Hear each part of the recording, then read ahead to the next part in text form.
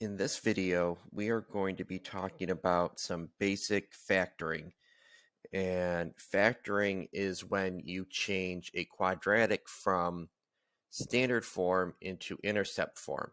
And we know that there are a lot of benefits in, in doing that. When you convert, or if you have a quadratic in intercept form, you know your x-intercepts really quickly, and then you can find your axis of symmetry uh, just by counting and then find your vertex and so on.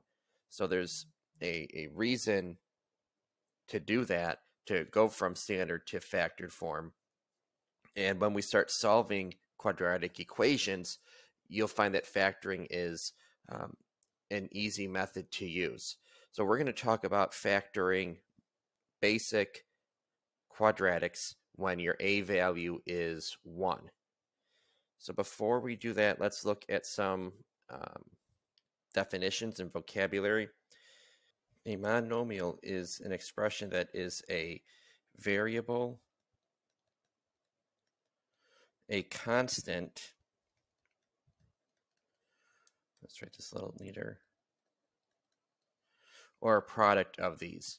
So what, what I mean by that, you know, example could be um, 3 that is a, a constant. That is a monomial. That is a constant three. It does not change. Um, that the expression x is also a type of monomial. It's just a variable. Or you could multiply a, a constant and a variable for x, where 4 would be your constant and x is your variable. So that's the definition of a, of a monomial. A binomial is the sum of two monomials. So we would say like there are two terms. x plus 5 is a monomial. There's there's two terms. Uh, we could even go x squared plus 3x. That's another binomial. And then a trinomial is a sum of three monomials. So like our quadratic functions in standard form, those are trinomials. This, whoops, let's erase that. This function right here, this is a quadratic function that has three terms. Um,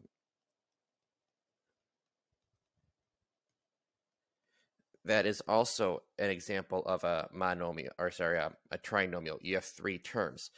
So don't just think that quadratics are the only um, only type of function that could be written as a as a trinomial. Trinomial just has three terms in it.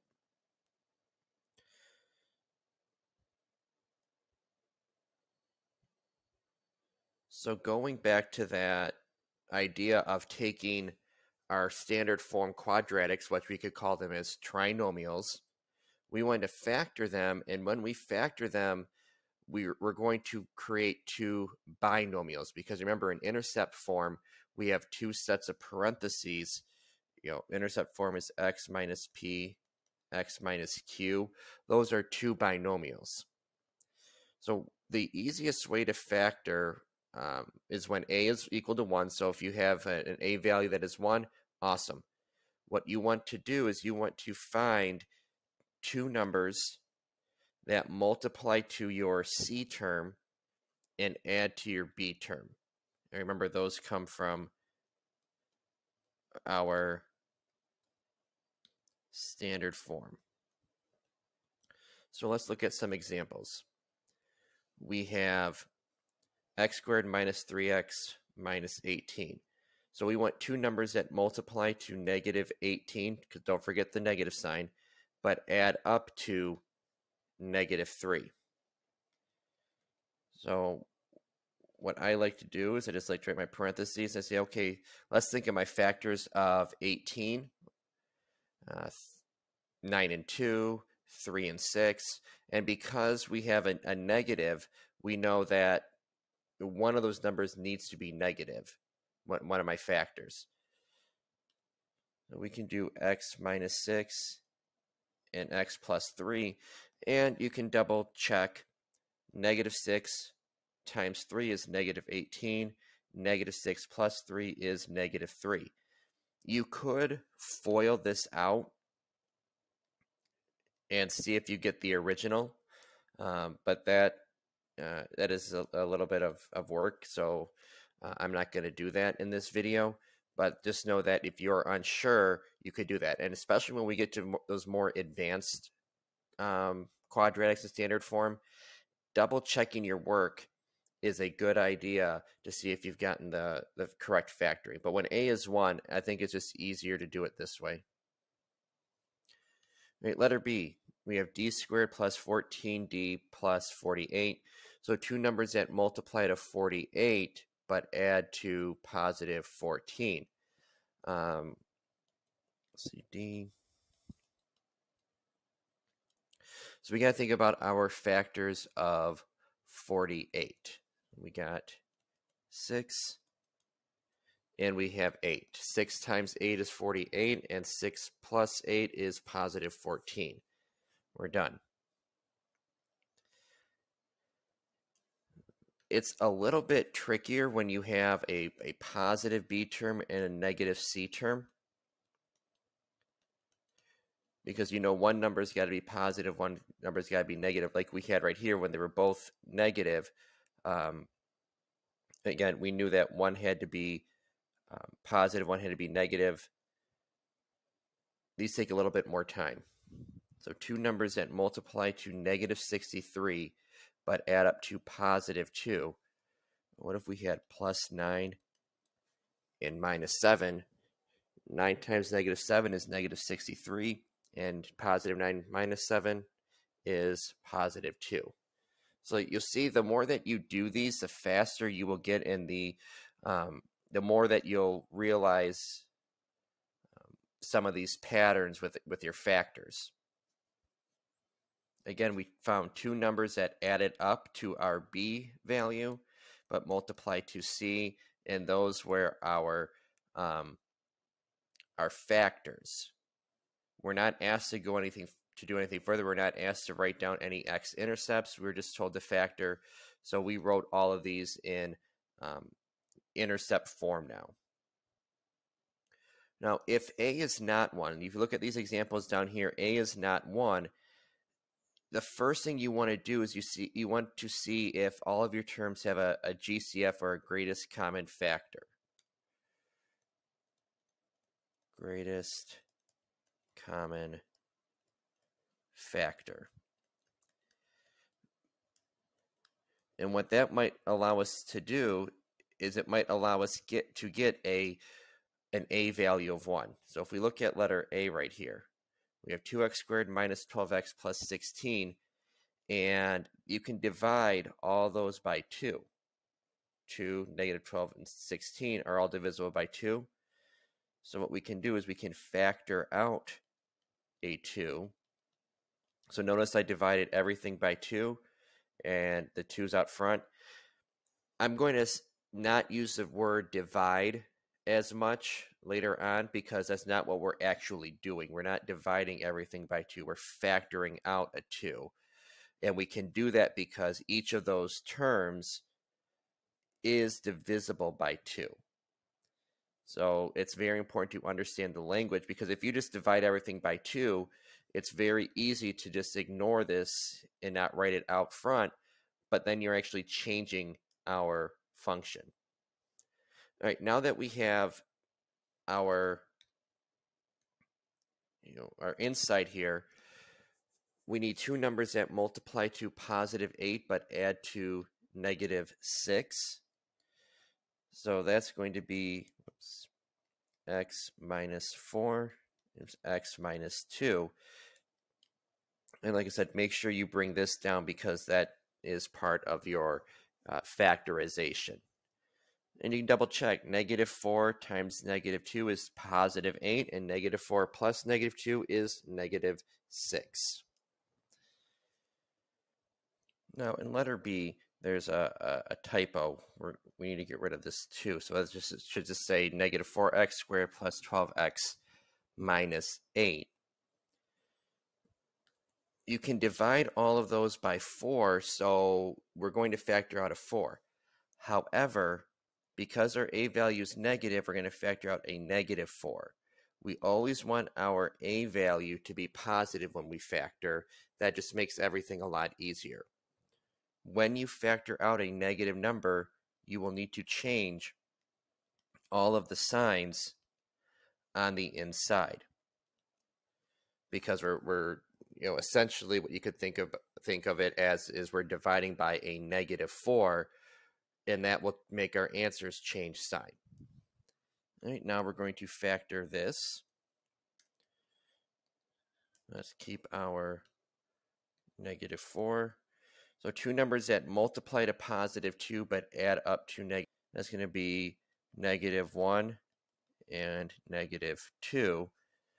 And that is our factored form.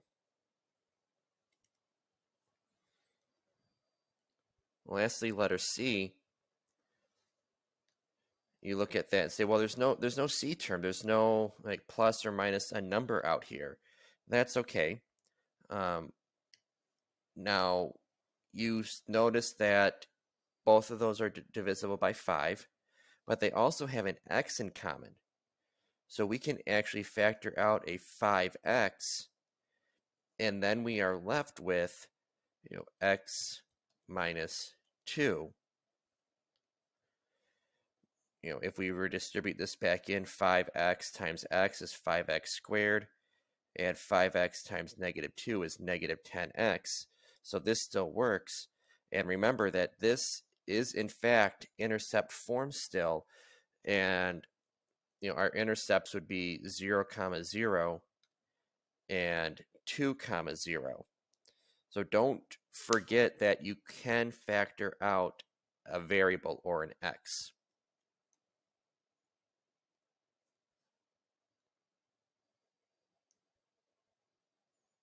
We are going to skip for now um, factoring when A is not 1 where you can't take out a GCF. Like all these up here, we were able to factor out a GCF and our A value is 1. So we could do what we did up here. These problems, you can't do that, and we'll, we'll talk about that later. I do want to skip here to look at some special patterns. Examples 4, 5, and 6 here. Um, the A value is 1, and what that allows us to do is it allows us to have um, some shortcuts and special patterns. So first one is called the difference of two squares. So if I have something squared minus another thing squared, what that will factor to is a minus b times a plus b. And if you look at example 4, x squared minus 4, well, x squared is like like I said, just x squared. It's something squared. 4 is 2 squared. So what this would equal would be x minus 2 times x plus 2. And you could multiply this out and get the original function right here. It's just a shortcut. You know, if you forget the shortcut, you could still do it the way we talked about. You know, there is no b value. Your b value is zero. So two numbers that multiply to negative four but add to zero, well, that's negative two and two. Negative two plus two is zero, and negative two times positive two is negative four. That's just using this using this difference of squares formula just um, makes it a little bit faster. The perfect square trinomials, those are a little bit harder to see. And I'll be honest that I don't see them all the time. Like if I'm looking at this problem right here, it's faster for me to say, oh, um, that's going to be 3 and 3. 3 times 3 is 9, and 3 plus 3 is 6. But when you get more complicated ones, then it might be more useful to use your, your shortcut. So if I have something squared plus 2 times AB plus B squared, what that will allow you to do is go and say a plus b. Uh, let me write it down here. a plus b times a plus b, which is the same as a plus b squared. Because you have these two things being multiplied twice. If we look at this one right here, example number five, like I was saying, you could have x plus 3 times x plus 3. You know, two numbers that multiply to 9 but add to 3, or sorry, add to 6. That is 3 and 3. So x plus 3 times x plus 3, which is equal to x plus 3 squared. And the last one is the same thing as we had for example 5, just with a subtraction sign. So this is actually going to be a minus b times a minus b, or a minus b squared. Again, for something like number 6, it might be easier to see, okay, well, what two numbers add up to negative 4, sorry, multiplied it yeah, add up to negative 4, but multiply to positive 4. x minus 2 times x minus 2. 2, negative 2 times negative 2 is positive 4. Negative 2 plus negative 2 is negative 4. You can write this as x minus 2 squared. So we will look at what happens when a is not 1 tomorrow. Uh, so thank you for watching and make sure to like and subscribe.